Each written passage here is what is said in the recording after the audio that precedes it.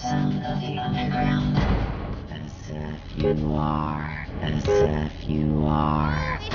Mom! Josh just broke the vodka bottle on your nightstand. Chris did it! You little shits! I'll kill you! Raising a family in the suburbs is tough, especially when you used to be a hip single woman on her own in a cool enclave of town. With today's stresses, it's difficult to maintain a loving, exploratory sex relationship with your husband and counter the temptations to kill your own children. I love my family. What can I do? Sometimes you need a helping hand. Send the right message about values and character.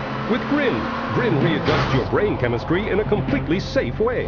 I hated my life. Now I love my minivan. Instead of spending time with friends, I work on the house.